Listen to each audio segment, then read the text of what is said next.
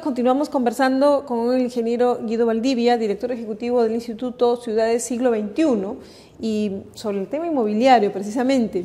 El Fondo de Vivienda dice va a elevar eh, de 50 UITs a 70 UITs el precio máximo de las viviendas que financia.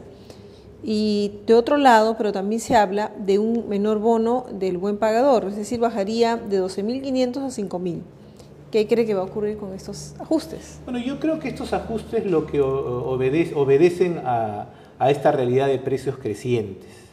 Sin embargo, pienso que el Fondo Vivienda debería orientar más eh, sus eh, recursos y sus estrategias a fortalecer este mercado de viviendas eh, por debajo de los 140 mil soles, que es donde está concentrada la demanda que cada vez va a ser más insatisfecha si es que no hacemos algo para que los precios no sigan subiendo porque o para que no haya suelo. O sea, en lugar de estar subiendo la cobertura, concentrarse más en esas viviendas más baratas. Yo creo que subir, digamos, es, una, es una reacción a, los precios actuales del mercado, pero yo creo que el Estado en general debería ser mucho más incisivo para poder desarrollar el, segmento de mercado. O sea, una mayor oferta de vivienda. Y oferta de vivienda en aquellos sectores en donde hay una mayor demanda. ¿Y qué haría usted, por ejemplo, si estuvieran los zapatos de los que están ahora? Bueno, mire, yo creo que... usted fue viceministro, así que de hecho conoce muy bien el tema. Eh, algunas de las cosas que se están planteando son razonables. ¿no? Se está planteando primero un programa que se llama eh, programa de generación de suelo urbano, ¿no? que precisamente procura a partir de suelo estatal generar una oferta de suelo que permita justamente esto. ¿no? Eh, la otra, el otro tema o el otro programa que está manejando ahora el ministerio que es, eh, se llama Nuestras Ciudades, lo que permite es fortalecer a las municipalidades para que puedan tener instrumentos que a su vez permitan desarrollar el mercado inmobiliario. Ni siquiera Lima está bien planteada en términos de desarrollo inmobiliario y eso está generando problemas en la ciudad, eso sin ninguna duda.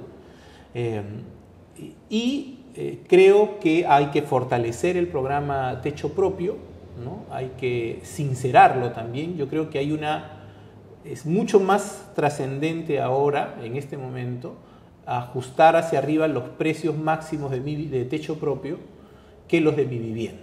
No me parece que sea descabellado levantar los precios de mi vivienda, siempre que vaya paralelo con un trabajo también en el otro programa, que es el que está dirigido a los ¿Cuánto habría que subir el precio? Bueno, lo cierto es que en estos últimos cinco años los precios reales del, costo de construcción han subido 21%, en promedio, suelo, materiales y mano de obra. Entonces, esa debería ser cuando menos el alza en los precios máximos de techo propio, porque si no, los eh, promotores privados no van a estar interesados en ese programa.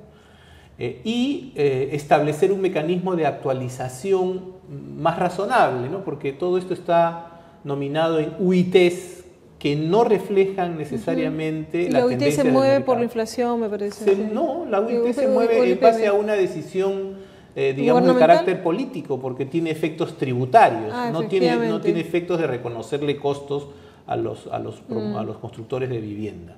Ahí es donde está, creo yo, el cuello de botella, ¿no? Entonces, si nosotros logramos que estos programas generen una oferta que haga que el mercado funcione más calzado, oferta con demanda, nuestro crecimiento será sostenible.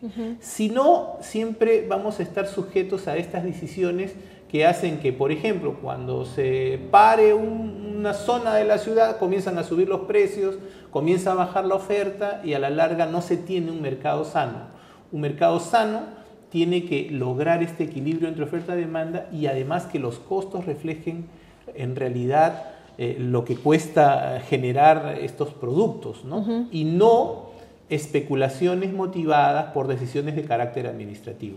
Finalmente, volviendo al tema de los cambios que se vienen en el Fondo de Vivienda, el hecho de bajar el bono del buen pagador va a significar una cuota más alta y, y a usted le parece adecuado, ¿no? Bueno, mire, en realidad yo creo que... Esto va de la mano con una mejora en los ingresos de los que están pidiendo los créditos. ¿Se justificaría bajar sí, lo que, claro, me imagino que el diagnóstico ha sido los ingresos están creciendo, entonces la gente puede pagar una tasa mayor, perdón, una cuota mayor. de otro lado, también es cierto que las tasas están bajando, ¿no? Y entonces eso también de alguna manera compensa. Pero insisto, el, trabajo más fuerte está en ese segmento que ahora tiene 79 ventas este, por año en, o, digamos en, el semestre en la ciudad de Lima y que también ya tiene dificultades para sostenerse en ciudades del interior.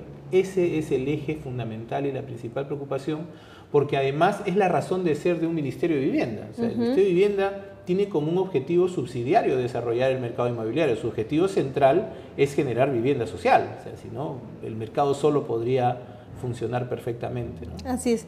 Ingeniero Valdivia, muchas gracias. Muy reconocido por su visita. Gracias por estar con nosotros. A la próxima ya nos contará también los proyectos de su institución. encantadísimo. Sí, muy bien. Amigos, una pausa. Volvemos con nuestra secuencia Entrenando Vidas.